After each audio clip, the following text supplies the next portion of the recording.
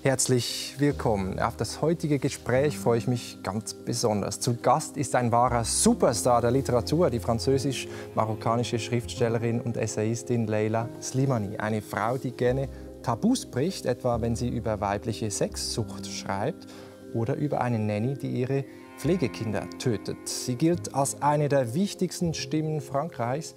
So wichtig, dass der französische Präsident Emmanuel Macron sie 2017 zur Kulturministerin ernennen wollte. Herzlich willkommen, Leila Slimani. Merci beaucoup. Ja, Sie haben das Angebot, äh, Kulturministerin zu werden, dann abgelehnt. Äh, warum eigentlich? Ich hatte weder Lust noch fühlte ich mich kompetent. Wenn man etwas nicht kann, sollte man es lassen, selbst wenn es sehr aufregend und attraktiv klingt, und sich auf das konzentrieren, worin man wirklich gut ist. Okay, aber Sie haben zugesagt für etwas anderes. Er hat Sie dann nämlich später angefragt, äh, in die internationale Organisation der Frankophonie äh, beizutreten. Da sind über 80 französischsprachige Länder vertreten weltweit und da wird der Austausch gefördert und auch Werte wie Demokratie und Gleichstellung zwischen Mann und Frau, zum Beispiel in Ländern wie Marokko, wo Sie ja geboren und aufgewachsen sind. Diese Aufgabe war Ihnen dann wichtig und da haben Sie gefunden, das kann ich auch. Ja, für diese Aufgabe fühlte ich mich legitimiert.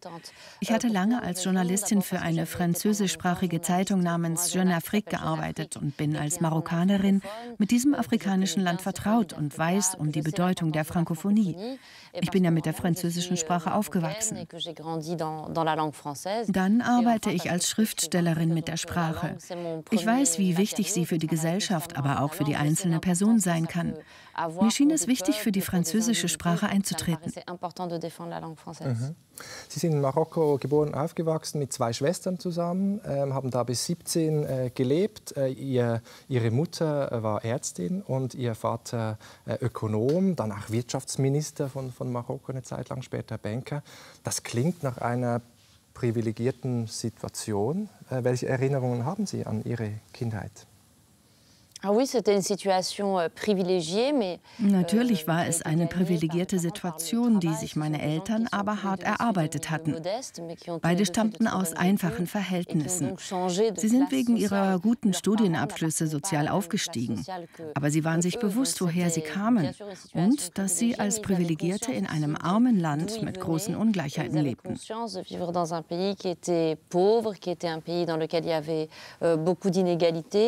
Ich erinnere mich an das Gefühl, gewissermaßen in einer Blase zu leben, mit Eltern, die sehr offen und frei, aber gleichzeitig auch etwas einsam waren. Sie trafen sich nicht oft mit anderen Menschen, sondern lebten zurückgezogen in ihren Büchern und Filmen. Mhm. Sie haben auch mal gesagt, ihr, Ihre Kindheit war auch so etwas wie ein Doppelleben. Also es war eine sehr re repressive Zeit, sehr konservative Werte. Also man durfte weder Alkohol trinken noch Homosexualität ausleben, ähm, Sex außerhalb der Ehe war verboten und so weiter. Lernt man da auch mit einer Lüge äh, zu leben? Ja, man lernt mit der Lüge zu leben, weil einem leider schon in jungen Jahren beigebracht wird, dass man lügen muss, um zu überleben. Man darf nicht sagen, wer man ist oder mit wem man was macht. Schon gar nicht, wenn man, wie Sie sagten, homosexuell oder sonst wie ausgegrenzt ist. Man hat der sozialen Norm zu entsprechen.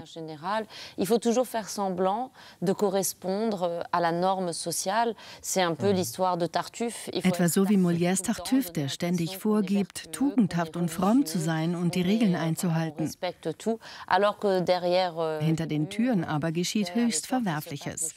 Aber mit Geld kommt auch Macht und damit die Möglichkeit, sich dem Gesetz zu entziehen.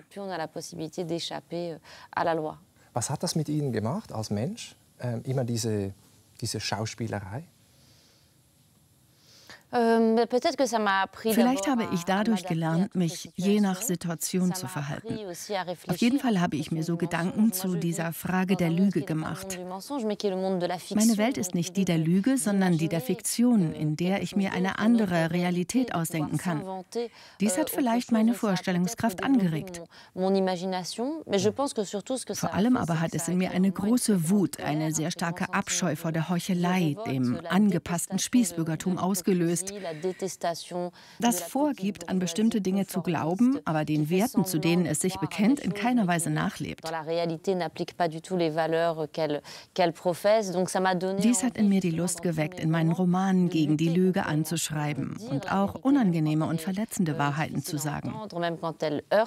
Euh, ja, ich glaube, dass meine Liebe zur Literatur daher rührt, dass die Literatur die Lüge nicht erträgt. Mhm. Interessant. Vielleicht war das schon der Anfang, die Wurzel sozusagen in die Flucht, in die Imagination einerseits, aber auch das politische Engagement, das Sie natürlich auch zeigen. Sie sind dann mit 17 Jahren sind Sie nach Paris gegangen, von, von Rabat aus äh, Marokko hin nach äh, Paris, und, ähm, um da zu studieren. Sind aber am ersten Tag, als Sie nach Paris gekommen sind, habe ich gelesen, nicht zur Uni gegangen oder so, sondern in ein Café, nämlich ins Café de Flore, in das berühmte Café der Existenzialisten rund um Jean-Paul Sartre und Simone de Beauvoir. Waren Sie damals schon Fan von, von Simone de Beauvoir? War das schon eine Figur, zu der Sie aufgeschaut haben? Ah oui. Oh ja, ich war aus vielen Gründen ein Fan von Simone de Beauvoir. Ihr Buch Das andere Geschlecht hat mein Leben verändert. Plötzlich hatte ich die Mittel, all jenen zu antworten, die mir sagten, dass ich als Frau bestimmte Dinge nicht tun oder haben könne. Dieses Buch lieferte mir echte philosophische, historische und wissenschaftliche Argumente gegen Leute, die einem solche Wahrheiten um die Ohren hauen und einem sagen, so ist es halt, weil es so ist und die Natur es so vorsieht. Ich habe ihr also schon rein intellektuell viel zu verdanken. Und dann habe ich auch die existenzialistische Bewegung geliebt, mit dieser Idee, dass man ist, was man tut, dass man nicht durch seine Hautfarbe, Religion oder sein Geschlecht, sondern durch seine Handlungen definiert wird. Ich war immer schon der Meinung, dass das Sein durch das Tun bestimmt ist. Die eigene Identität basiert nicht auf deinem Pass oder deinem Personalausweis. Außerdem verkörperte sie für mich das Bild der freien, intellektuellen Frau. Sie liebte das Leben, sie liebte es auszugehen auszugehen, zu trinken, zu rauchen. Sie liebte die Liebe, sowohl mit Männern als auch mit Frauen. Eine solche Vorstellung von einem Leben als freie Intellektuelle, die ihre Zeit in Cafés verbringt, fand ich unwiderstehlich. Als ich dort ankam, wollte ich sehen, ob es noch Menschen gibt, die so leben. Man spürt die Faszination immer noch, wenn Sie das heute beschreiben. Es ist wirklich eine eindrucksvolle Figur gewesen, Simone de Beauvoir. Und dieses Buch, das Sie erwähnt haben, Das andere Geschlecht ähm, auf Deutsch, darin kommt ja dieser berühmte Satz vor, man wird nicht als Frau geboren, sondern man wird zu einer gemacht oder im Laufe des Lebens. Und äh, was sie damit gemein, genau meint mit diesem Satz, das lassen wir sie gleich selbst erklären. Wir hören ihr mal kurz zu. C'est en somme la formule qui mes thèses. Diese Formel fasst im Grunde alle meine Thesen zusammen. Sie bedeutet schlicht und einfach, dass das Frausein keine natürliche Gegebenheit, sondern das Resultat einer Geschichte ist. Die Frau wird von keinem biologischen oder psychologischen Schicksal definiert. Ihr Status wird vielmehr festgelegt durch die Kulturgeschichte und die Lebensgeschichte jeder einzelnen Frau. Die Geschichte ihrer Kindheit, wo etwas in ihr angelegt wird, was nicht faktisch ist und gemeinhin Weiblichkeit genannt wird. Euh, Vertiefte psychologische Studien über Kinder zeigen immer klarer, dass das weibliche Baby zur Frau gemacht wird. Que vraiment le petit bébé féminin est fabriqué pour devenir une femme. Das ausgezeichnete Buch der Italienerin Elena Giannini Bellotti, Was geschieht mit kleinen Mädchen, zeigt, wie lange bevor die Mädchen es wahrnehmen, in der Art, wie sie gestillt und getragen werden, das Frausein in ihre Körper eingeprägt wird, das sie später als ihr Schicksal betrachten. Ja, Frau sein, das heißt auch eine Rolle zu lernen, äh, diese Rolle zu verinnerlichen. Welche Rolle war das bei Ihnen in Ihrer Jugend und Kindheit? Ich hatte Glück. Meine Eltern zwangen mich nicht, einer Rolle zu entsprechen. Mein Vater war kein Vorreiter in Sachen Feminismus und hatte auch mal machohafte Züge, etwa wenn er meine Art, mich zu kleiden, kritisierte. Er kümmerte sich um nichts, was mit Haushalt zu tun hatte. Er ging nicht einkaufen, kochte nie und wechselte keine Windeln. Aber er betrachtete uns als Individuen und als Wesen mit einem Intellekt. Er sagte uns die ganze Zeit, das Wichtigste sei zu studieren und finanziell auf eigenen Beinen zu stehen, nie von einem Mann abhängig zu sein, sondern das Leben in die eigene Hand zu nehmen und das zu werden, was wir werden wollten und uns selbst zu verwirklichen. Meine Eltern wollten aus uns keine braven, folgsamen, netten Mädchen machen. Und um auf Simone de Beauvoir zurückzukommen, ich glaube, nicht nur die Frau wird in eine Rolle gezwungen, sondern auch kleine Jungen. Als Mutter eines Jungen sehe ich, wie sehr Männern auferlegt wird, einem bestimmten Bild zu entsprechen, das auch von Brutalität und Männlichkeit geprägt ist. Man muss stark sein, darf nicht weinen und nicht seine Gefühle zeigen. Diese Rolle muss genauso dekonstruiert werden. Auch das ist die Aufgabe des Feminismus.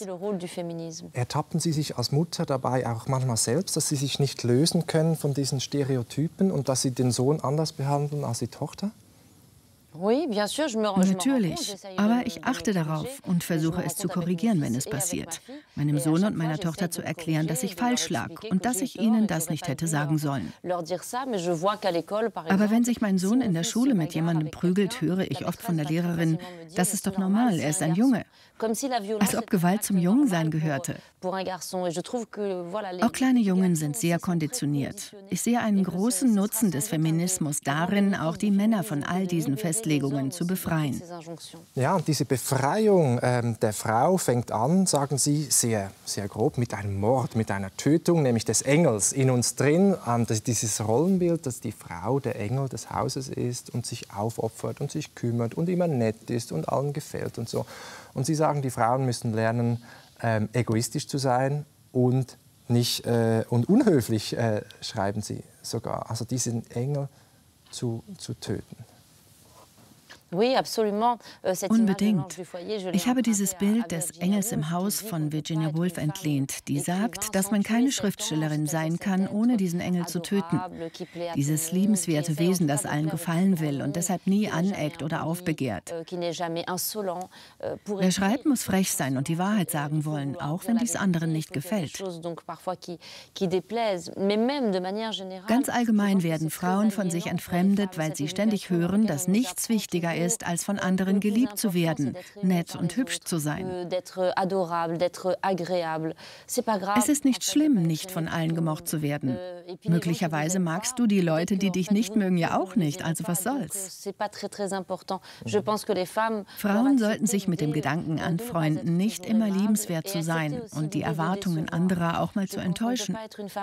Eine freie Frau muss damit leben können, keine perfekte Mutter oder Tochter zu sein und ihre Kinder oder ihre Eltern manchmal zu enttäuschen. Wenn wir uns aber gut fühlen und das tun, wozu wir Lust haben, dann gestalten wir unser Leben als freie Person.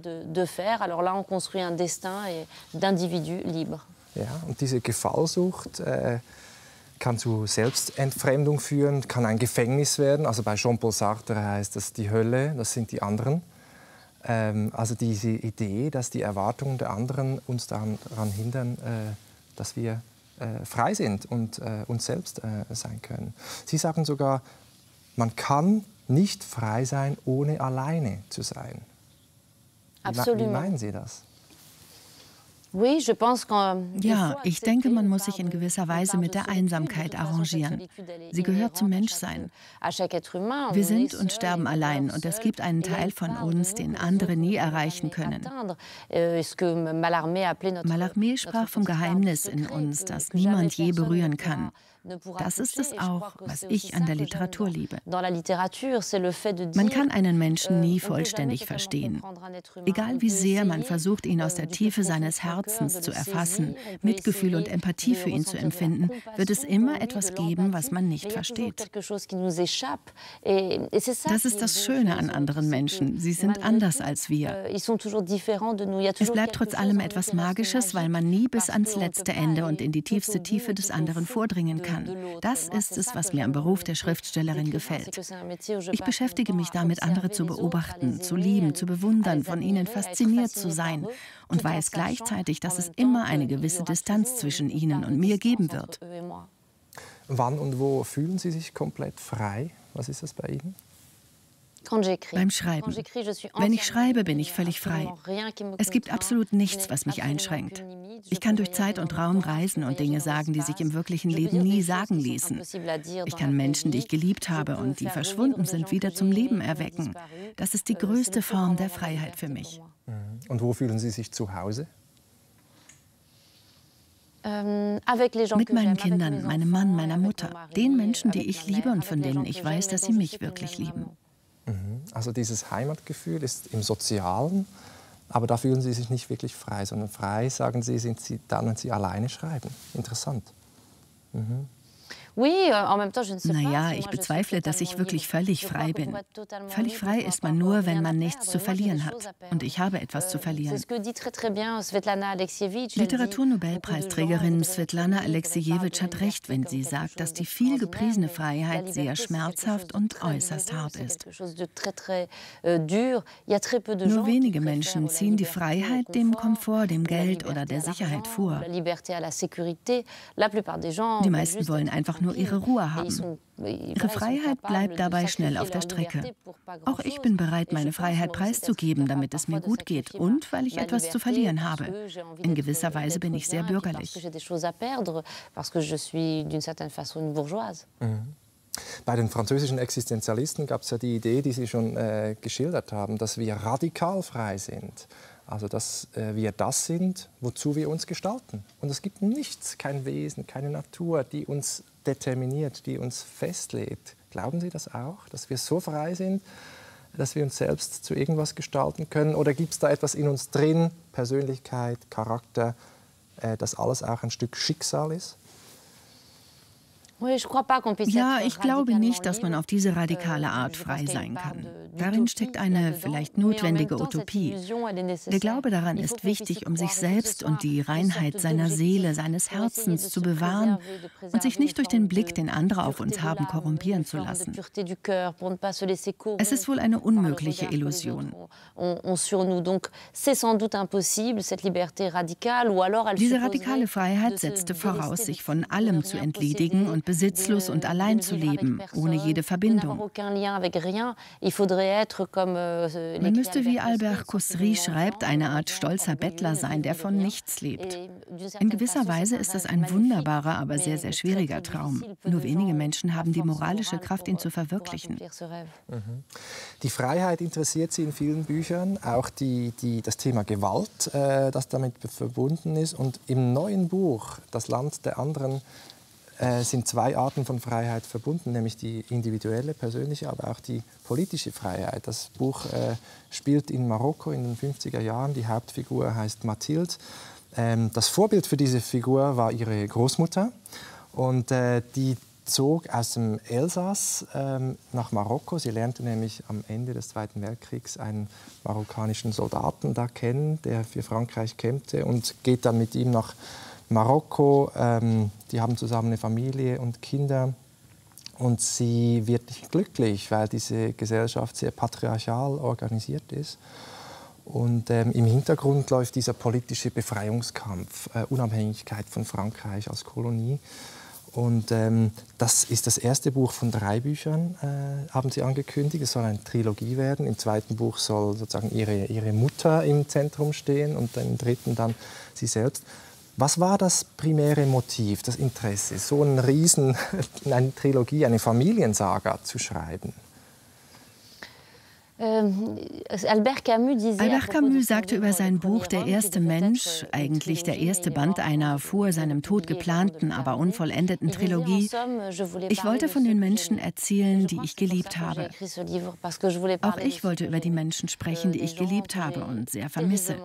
Meinen Großvater und meine Großmutter und die Menschen um sie herum. Ich wollte aus sehr persönlichen Gründen eine untergegangene Welt wieder aufleben lassen. Es gab aber auch ein politisches Ziel. Fragen zu meiner Identität, ob ich nun Französin oder Marokkanerin oder eine Bourgeoise sei, konnte ich nie wirklich beantworten. Das war frustrierend.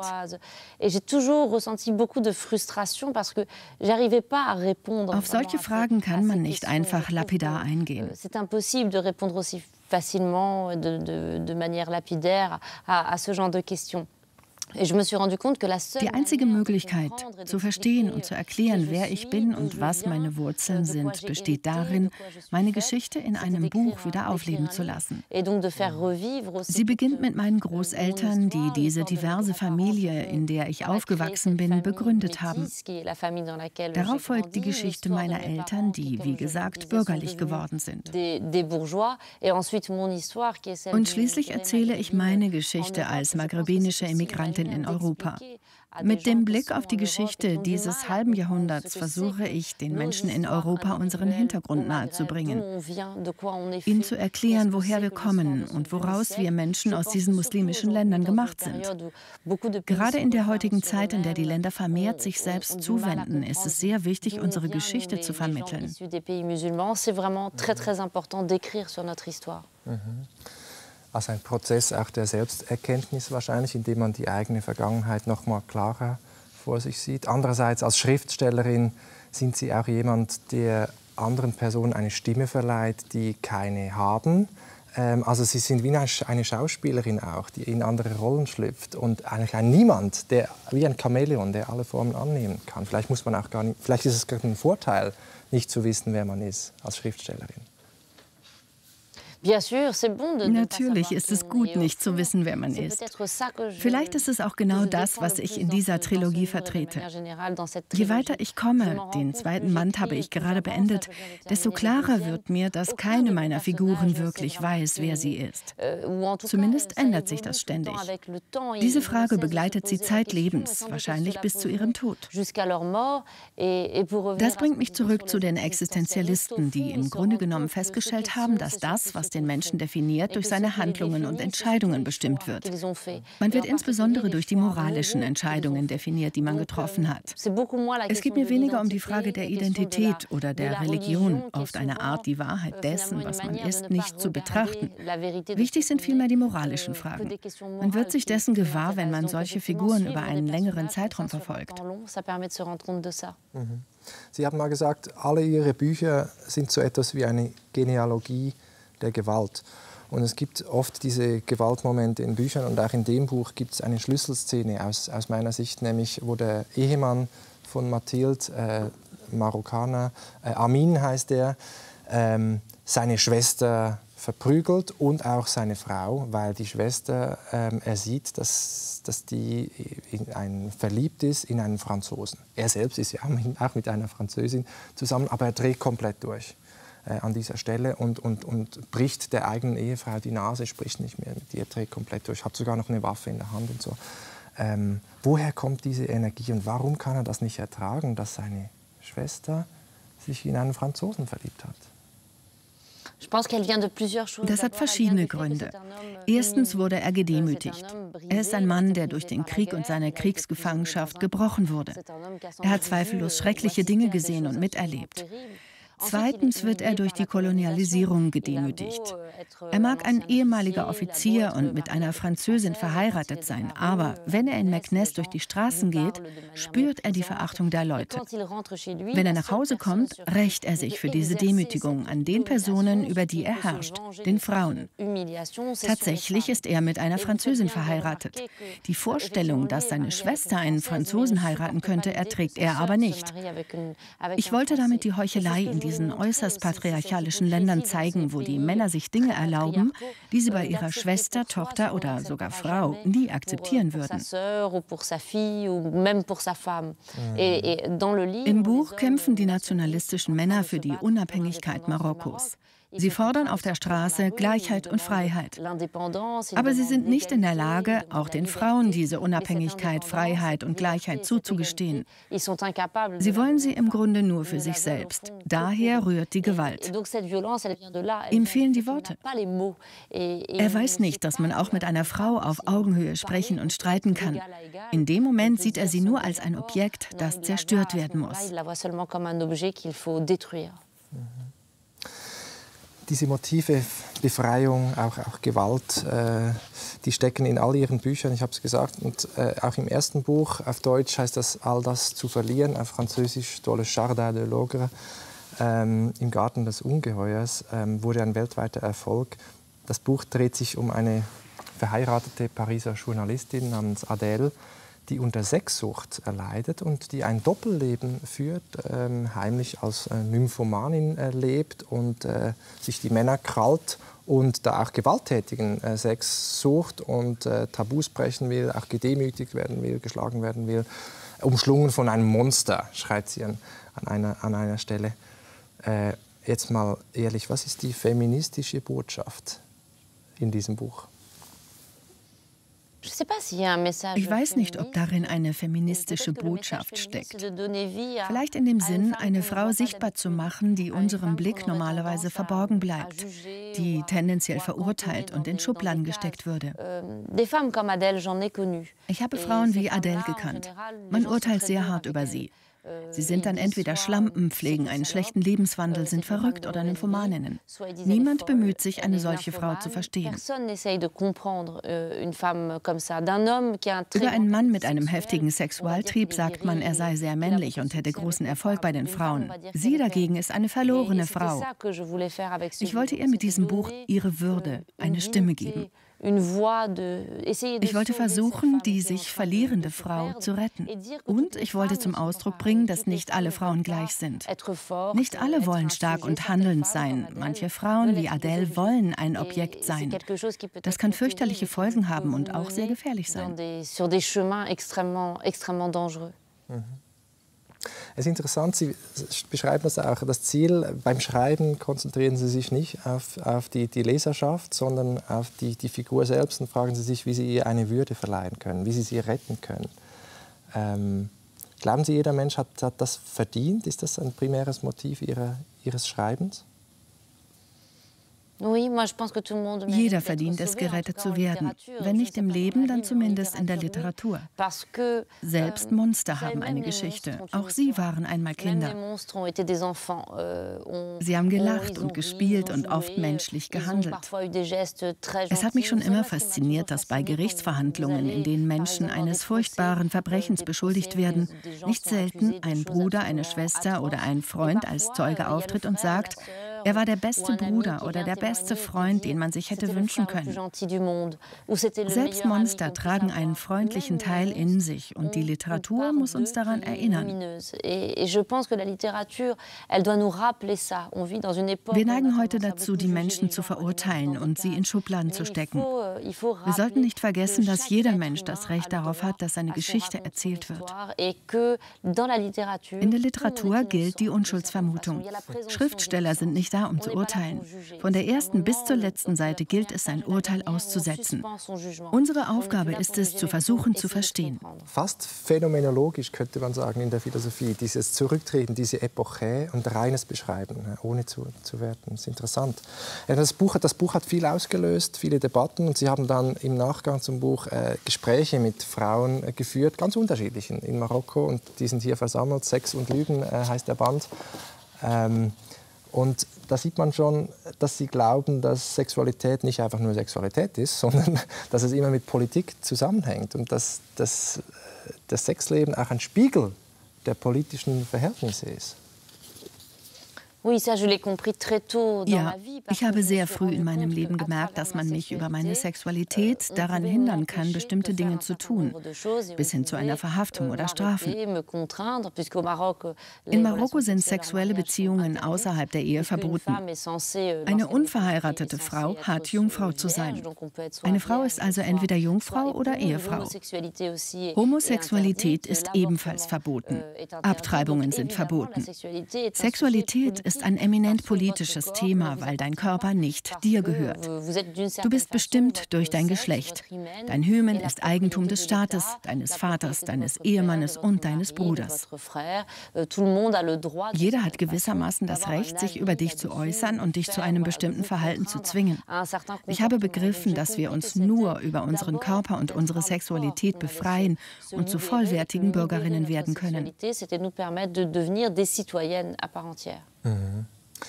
Ja, politische Freiheit fängt äh, im Schlafzimmer an, könnte man sagen. Äh, das ist auch eine These, die die britische Journalistin Shireen El-Feki vertritt. Sie hat auch Gespräche geführt mit Frauen aus arabischen Ländern und sie war schon bei uns hier in der Sendung ähm, und wir hören ihr mal kurz zu. Wenn Sie in die Schlafzimmer hineinschauen, finden Sie all die Probleme und noch mehr, die ich in meinem Buch beschreibe. Deshalb frage ich, was bedeuten diese großen politischen Strukturen, wenn Demokratie, Freiheit und Menschenrechte nicht im Schlafzimmer beginnen? Wir sind aktuell in einer spannenden Situation. In Ägypten zum Beispiel haben wir im öffentlichen Bereich nicht viel Handlungsspielraum. Deshalb ist nun der private Raum der einzige Ort, wo wir den Aufstand vielleicht fortsetzen können. Das finde ich spannend, denn wenn dort der Wandel einmal beginnt, geht er weiter. Irgendwann wird er das öffentliche Leben beeinflussen. Hat sie recht oder ist das zu stark gewichtet? Also der Aufstand politische beginnt im Schlafzimmer. Was sie sagt, ist sehr interessant. Der Aufstand beginnt im Haus, im Schlafzimmer. Er beginnt mit dem kleinen Mädchen, das aufbegehrt. Euh, ich erinnere mich, dass ich als Fünf- oder Sechsjährige zu meiner Großmutter, wenn sie auf Besuch kam, immer auf Arabisch sagte, raus, ich will rausgehen. Meine erste Rebellion bestand darin, keine Hausfrau sein zu wollen. Ich wollte nicht eingesperrt sein, sondern rausgehen. Dafür muss man kämpfen. Meine Bücher sind auch Bücher über das Haus. All das zu verlieren und mehr noch, dann schlaf auch du. Ein Buch über eine Nanny, ein Dienstmädchen, also eine Hausangestellte. Euh, das Buch thematisiert das Verhältnis der Frauen zur Hausarbeit. Wie schafft man es, Mutter zu sein und gleichzeitig zu arbeiten, sich um die Hausarbeit zu kümmern, einzukaufen, zu kochen? Die Fragen mögen banal erscheinen, aber es sind grundlegende politische oder sogar philosophische Fragen, die für eine Gleichstellung von Mann und Frau unbedingt gelöst werden müssen. Ja, und wenn man das selbst mal eine Zeit lang äh, gemacht hat, äh, Hausmann oder Hausfrau gespielt, dann sieht man, wie wenig Anerkennung auch damit verbunden ist. Und diese, diese Arbeit, die man, man schuftet den ganzen Tag und am Abend sieht die Wohnung genauso aus, aber es verschwindet alles, man sieht es nicht und so. Und man bekommt wenig Wertschätzung, überhaupt keinen Lohn dafür schon gar nicht und so. Ähm, genau, und dieses Thema greifen Sie auf in dem Buch, das Sie schon erwähnt haben, auf Deutsch, Dann schlaf auch du, äh, Chanson douce, äh, die Geschichte einer Nanny. Ähm, die ja, am Anfang alles perfekt macht äh, und irgendwann äh, verzweifelt und äh, die beiden Kinder ermordet, tötet. Das erfährt man schon im ersten Satz des Buches. Das ist kein Rätsel, aber wie es dazu kommt, ist vielleicht ein Rätsel. Und äh, warum, warum tut sie das? Ich habe wirklich keine Antwort auf diese Frage. Niemand wird darauf eine Antwort haben. Es ist unmöglich zu sagen, warum genau jemand sich dazu entschließt, Kinder zu töten. Euh, Vielleicht lassen sich Erklärungsansätze finden, dass es aus Wahnsinn, aus Verzweiflung oder aus Rache geschah. Eine solch vollkommen verrückte und unvorstellbar grausame Tat kann dadurch nur im Ansatz erklärt werden.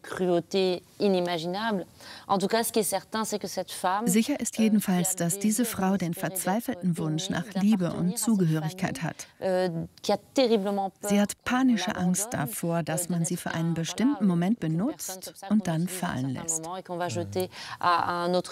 Lieber stirbt sie und tötet diese Kinder, als noch einmal ausgestoßen zu werden. Mhm. Ich meine, es ist eine seltsame Rolle auch, die so eine Nanny hat. Das ist ja eine professionelle Rolle, aber zugleich ähm, als Mutter übergibt man die eigenen Kinder, das, was einem am wichtigsten ist. Und das ist auch Intimität. Also die spielt mit denen, die schläft mit denen zusammen und hält sie und gibt ihnen Nähe. Und äh, das ist auch was Interessantes. Sie selbst äh, haben, glaube ich, auch eine Nanny gehabt, zum Beispiel eine Zeit lang. Ich bin von einer Nanny aufgezogen worden, wie viele Kinder in einem ähnlichen Umfeld in Marokko. Ich kenne diese Beziehung sehr gut aus der Perspektive des Kindes, aber auch als Mutter. Wie viele Frauen, die arbeiten, habe ich eine Nanny angestellt, die sich um meine Kinder kümmern soll, wenn ich schreibe. Es ist tatsächlich eine äußerst zwiespältige Beziehung. Du möchtest, dass die eigenen Kinder die Nanny sehr lieben. Gleichzeitig aber nicht zu sehr, weil du ja die Mutter bist. Du möchtest ihr sagen, dass sie zur Familie gehört und weißt gleichzeitig genau, dass sie eine Fremde ist. Sie lebt in deinem Haus und weiß alles über dich. Sie kennt jedes Detail deines Lebens und gehört doch nicht zum Kreis der Familie. Es handelt sich um eine äußerst seltsame Beziehung, bei der du nie so recht weißt, wie du dich verhalten sollst. Das kann manchmal sehr beklemmend sein. Ja, und diese Figur, die verkörpert auch eine Grundeinsicht von ihnen, nämlich, dass wir alle Fremde sind äh, füreinander, dass es immer diesen Abgrund gibt zwischen, zwischen uns und dass, dass, wir uns letztlich nicht verstehen. Sie sagen, das Motiv, wir wissen es nicht. Und es gibt eine Stelle in dem Buch, wo das die Nanny selbst äh, sagt, dass wir wie Kinder sind. Man, man kann nicht alles äh, verstehen. Und äh, das Buch wurde auch verfilmt. Äh, wir schauen uns mal eine, die, diese Stelle an. Und äh, die Mutter stellt da die, die Nanny zur Rede, weil der kleine Junge Bissspuren am, am Oberarm hat.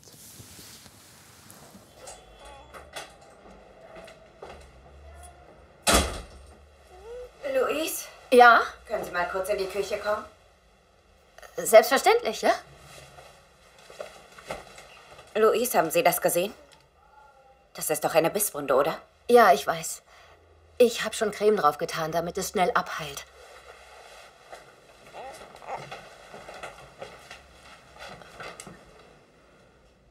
Äh, das war Mila, die ihn gebissen hat. Und waren Sie da? Haben Sie das gesehen? Selbstverständlich war ich da. Ich war in der Küche, während die beiden miteinander gespielt haben. Und irgendwann hörte ich dann, dass Adam laut schreit. Ich habe erst gar nicht verstanden, warum. Ich bin zu ihm gegangen und habe nichts gesehen. Ich konnte auch nichts entdecken, denn es ist offenbar so gewesen, dass Mila ihn direkt durch die Kleidung gebissen hat. Sind Sie sicher, Louise? Ich habe Mila mehrmals gefragt, ob sie es gewesen ist. Ich habe ihr sogar gesagt, dass ich sie nicht bestrafen werde, aber sie hat geschworen, dass sie nicht weiß, woher der Biss kommt. Verstehe. Ich hatte versprochen, nichts zu sagen und die Vorstellung, ein Versprechen zu brechen, das ich einem Kind gegeben habe, finde ich nicht gut. Aber naja. Hat das Mila etwa getan? Ja. Also bitte, ich verlasse mich auf Sie. Und Sie reden nicht mit ihr darüber. Ich glaube, wenn das Vertrauensverhältnis zwischen uns zerbrechen würde, wäre sie danach noch verstörter. Sind Sie auch der Meinung? Sie ist ein bisschen eifersüchtig auf Ihren Bruder, das ist normal. Überlassen Sie die Sache mir. Ich bringe das in Ordnung, okay? Möglicherweise ja. Aber ich. ich verstehe nicht. Sie sollten nicht versuchen, alles zu verstehen. Kinder sind manchmal wie Erwachsene. Da gibt es nichts zu verstehen. Hm. Wir Menschen sind alle Rätsel füreinander. Ist das, ist das für Sie eine, eine tröstende Einsicht oder eher eine, die Sie nicht so gerne hören? Nein, ich denke, das ist das Schöne an menschlichen Beziehungen und sogar in der Liebe. Zu akzeptieren, dass man nicht alles verstehen kann. Andere zu lieben bedeutet nicht, sie zu durchleuchten, um zu wissen, was in ihrem Kopf vorgeht. Das deckt sich auch mit meinem politischen Kampf. Ich habe großen Respekt vor Geheimnissen. Es ist ein Grundrecht, Geheimnisse zu haben, nicht alles von sich preiszugeben, nicht immer transparent zu sein.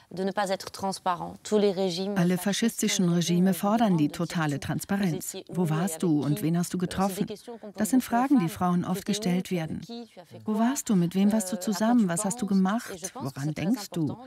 Ich finde es wichtig, sich diesen Fragen zu verweigern, um einen Teil von uns zu bewahren, von dem wir nicht wollen, dass andere ihn verstehen. Ein Plädoyer für das, für das Geheimnis, für das Private auch. Ist das auch eine Gesellschaftskritik, die dahinter steht, weil Transparenz ist ein Grundwert unserer, unserer Zeit. Das ist durchaus ein Wert, der aber manchmal zu euh, weit ausgelegt wird. Es ist wichtig, von unseren Politikerinnen und Politikern eine gewisse Transparenz zu verlangen und darauf zu bestehen, euh, dass ein Staat sein Handeln offenlegen muss. Aber heißt das auch, dass wir unbedingt wissen müssen, mit wem die Leute schlafen, wo sie ausgehen und was sie essen, wie sie ihre Sexualität leben und was sie gefrühstückt haben? Euh, All das interessiert mich nicht. Ich denke, der Trend, sein ganzes ganzes Leben auszubreiten, hat uns auf Abwege geführt. Das ist es, was ich an den Social Media nicht mag. An anderen Menschen interessiert mich ihr Geheimnis. Ich möchte nicht wissen, wer wo im Urlaub war oder wer welche Kleider trägt. Aber Sie sagen selbst in der Liebe, äh, interessiert sie das Geheimnis. Das finde ich interessant, weil es gibt ja dieses romantische Liebesideal, dass man miteinander verschmelzt und äh, so viel Vertrauen hat, dass man sich in- und auswendig äh, kennt. Aber das ist für Sie eher ein Graus. Das ist kein Ideal. Ah non, pas du tout. Absolument pas. Non, Nein, wirklich nicht. Ich finde die Idee, sich euh, alles zu erzählen, schrecklich. Ganz im Gegenteil. Die großen Lieben sind wahrscheinlich eher stille Lieben, bei denen man sich nicht viel sagen muss. Nicht alles wissen zu wollen, ist ein großes Zeichen von Respekt. Es schafft Vertrauen. Meine Eltern waren uns Kindern gegenüber sehr respektvoll. Nie hätten sie einen Brief geöffnet oder ein Gespräch belauscht oder uns aufgefordert, unsere Geheimnisse zu teilen. Wahre Liebe bedeutet, zu akzeptieren, dass man nicht alles über jemanden weiß. Hm, interessant. Und meine, was sich da verbirgt in dem, in dem anderen, ist äh, nicht immer nur Gutes. Das zeigen Ihre Bücher auch. Also Sie schreiben ja auch die finsteren Seiten, brechen Tabus, die Schattenseiten äh, des Menschen. Und äh, Sie sagen an einer Stelle auch, äh, wir sind alle Monster in uns, in uns drin. Ähm, das müssen Sie erläutern. In uns allen schlummert ein Teil, der zum Monster werden könnte. Wir alle sind zu schrecklichen, grauenhaften Dingen fähig. Auch wenn man nie zur Tat schreitet, existiert diese Möglichkeit in jedem von uns. Deshalb hasse ich es auch, wenn man über jemanden, der eine tragische oder schreckliche Tat begangen hat, sagt, was für ein Hund, was für ein Schwein. Nein, im Gegenteil, es handelt sich um Menschen. Man muss auch ihnen ins Gesicht Gesicht sehen und anerkennen, dass sie zu unserer Familie gehören und ein Teil von uns sind. Und dass sich auch in uns ein Monster verbirgt, das jederzeit ausbrechen kann.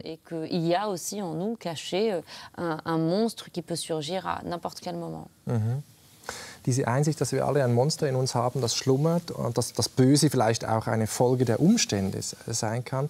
Wie verträgt sich das mit, mit der Freiheit? Glauben Sie, auch im Bösen steckt immer dieses Moment der Freiheit? Haben wir letztlich immer die Wahl, äh, das Böse auch zu lassen?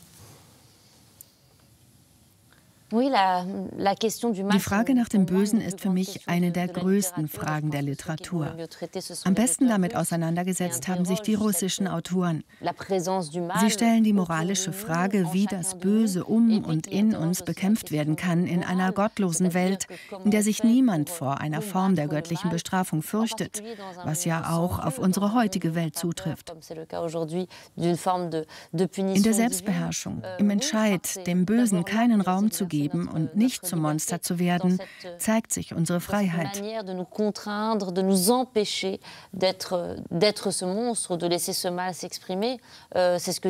Camus, einer der ganz großen Autoren der Freiheit, sagt, ein Mensch weiß innezuhalten.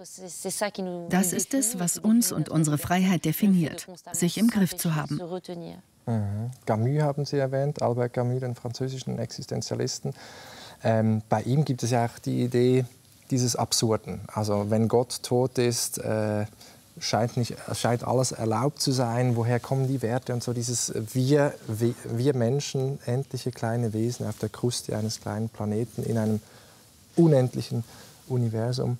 Ähm, dieses Absurde, auch dieses Bild, das er hat vom, äh, vom Sisyphos, dass den Stein, der den Stein jeden Tag den Berg äh, raufrollt, der rollt wieder runter. Ähm, ist das ein, ein Welt- und ein Selbstbild, dieses absurden Menschen, das für Sie immer noch stimmt? Ja, natürlich. Weil es überall und immer gilt. Ja, wir werden sterben. Das Leben hat wirklich keinen Sinn. Was wir tun, ist zweifellos völlig absurd. Aber man muss sich, wie Camus sagt, Sisyphus glücklich vorstellen. All das hindert uns nicht am Glücklichsein und am Staunen. Dem Staunen angesichts der Schönheit und des Reichtums der Gefühle. Meine Lust, mich der Literatur zu widmen, wird dadurch nur noch größer. Sie ist vielleicht eines der wenigen Dinge, die nicht völlig absurd sind. Woran glauben Sie? Ich glaube an das Gute und auch an das Gute im Menschen. Wir sind zum Guten und zur Empathie fähig. Ich bemühe mich daran zu glauben, weil ich sonst sehr hoffnungslos würde. Ich glaube an das Gute. Mhm. Ähm, Sie schreiben an einer Stelle auch, Sie, alle Ihre Bücher sind eine Kritik äh, der Bourgeoisie, an der Bourgeoisie, an der bürgerlichen äh, Elite. Also das eine Buch ist eine Kritik am Konformismus, das mit der, mit der Sexsucht, dann äh, eine Kritik an der Herablassung des Großbürgers gegenüber kleineren Leuten, wie der Nanny zum Beispiel. Ähm, das Buch äh, Sex und Lügen, eine, eine Kritik an der Verlogenheit der Gesellschaft. Ähm, Sie selbst haben schon angetönt, Sie haben das auch in sich drin, diese Bourgeoisie, äh, diese bürgerliche Elite von, von Ihren, Ihren Eltern. Ist das auch eine Form der Selbstkritik, immer auch Ihre, Ihre Bücher? Oder wie sehen Sie das? Ja, es gibt natürlich einen Teil euh, Selbstkritik. Ich versuche beim Schreiben immer auch in den Spiegel zu schauen und mich über mich selbst lustig zu machen und mich und die Menschen um mich herum kritisch zu betrachten. Euh, ich kann diese Kritik üben, denn ich kenne diese euh, Bourgeoisie, weil ich ihr angehöre. Ich beobachte, was um mich herum geschieht und versuche zu erzählen, was ich sehe und höre und was mich manchmal schockiert. Aber ich unterteile nicht in gut und schlecht schlecht. me choquent terriblement. Mais je ne cherche pas à dire s'ils sont bons ou s'ils sont mauvais. Es ist sehr gefährlich, eine soziale Klasse moralisch abzukanzeln. Die Ansicht, alle armen Menschen sind gut und alle reichen Menschen sind schlecht, ist dumm, sinnlos und literarisch wertlos. Euh, ich möchte auch auf diese soziale Klasse einen kritischen, aber trotzdem auch zärtlichen Blick werfen. Mhm. Ihre Bücher versuchen auch immer dahin zu gehen, wo, es weh tut. Ich habe es schon gesagt. Also diese dunklen Seiten, diese Abgründe, diese Tabus versuchen Sie zu brechen. Diese radikale Freiheit des Sprechens auch versuchen Sie zu verteidigen in der heutigen Zeit. Warum ist, ist Ihnen das so wichtig, die Tabus zu brechen und die dunklen Seiten des Menschen äh, schonungslos offen zu legen? Wenn ich ein Buch beginne, denke ich nicht, also ich breche jetzt ein paar Tabus und decke ein paar dunkle Seiten auf. Mhm. Auch wenn es sich am Ende des Buches so verhält. Euh, ich verfolge kein Ziel. Ich lasse mich beim Schreiben von den Figuren leiten, die mir begegnen und erzähle ihre Geschichte. Ich bin fast wie eine Marionette in deren Händen. Ich habe keine Ahnung, warum ich was schreibe oder warum sich die Themen von einem Buch zum anderen weiterziehen. Ich teste mich beim Schreiben vor und verzichte darauf, meine Arbeit zu analysieren. Das ist Ihr Job. Ja, aber da müsste man psychoanalytisch fast schon fragen, warum Ihre Figuren so schlimme Dinge tun. was das über sie aussagt. Genau deshalb suche ich keinen Psychiater auf. Ich will mich nicht analysieren, sondern sogar mir gegenüber ein Geheimnis bleiben. Ich möchte mich nicht durchschauen. Warum nicht? Weil ich Zeit für meine Figuren haben möchte. Wenn ich zu viel über mich nachdenken würde, fehlte mir die Zeit, mir Menschen auszudenken, die es nicht gibt. Hm, aber das Buch, jetzt das neue Riesenprojekt mit der Trilogie über die eigene Vergangenheit, ist natürlich auch eine Selbstbeschäftigung. Ja, natürlich. Ich habe jetzt den zweiten Band beendet und beginne bald mit dem dritten. Hm. Wir sind schon leider fast am Ende des Gesprächs. Ich habe viele Fragen gestellt, die mich interessieren, die wahrscheinlich auch das Publikum interessiert. Ähm, zum Schluss würde mich interessieren, welche Frage Sie derzeit umtreibt, womit Sie sich beschäftigen. Was die Frage ist, die Ihnen äh, am meisten im Kopf, im Kopf äh, herumschwirrt derzeit. Euh, Im Moment stelle ich mir die Frage, ob ich mich politisch engagieren soll, gewissermaßen in die Arena steigen und zu aktuellen Fragen Position beziehen. Euh, euh, mir ist noch unklar, ob man als Schriftstellerin oder Schriftsteller heute eine gewisse Distanz pflegen oder sich einmischen soll. Ich weiß nicht, ob es etwas bringt, politisch aktiv zu werden oder ob es nicht besser ist, einfach nur zu schreiben. Soll ich versuchen, meine Ideen über die Literatur einzubringen oder braucht es mein politisches Engagement als Autorin? Mhm. Und zu welcher Antwort kommen Sie da? Aber wohin, wohin tendieren Sie? Ich weiß es nicht. Es ist kompliziert. Wenn man sich heute gegen die extreme Rechte oder für Migranten einsetzt, wenden Gegner sehr schnell ein. Sie können leicht reden als privilegierte Wohlstandslinke, die nichts über das Leben weiß.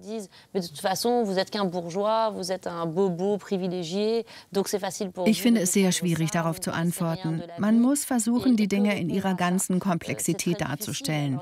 Und vielleicht ist die Literatur dafür am besten geeignet. Ich bin mir nicht sicher, ob man im heutigen öffentlichen Medienumfeld einen komplexen und nuancierten Diskurs führen kann.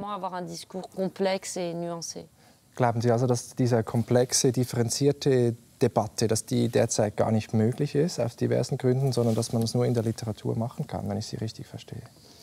Ich fürchte, so ist es, aber vielleicht stimmt es auch nicht. Es bleibt eine offene Frage für mich. Das ist sehr philosophisch. Am Schluss bleiben die Fragen offen. Vielen herzlichen Dank, Leila Slimani, für dieses wunderschöne Gespräch. Danke.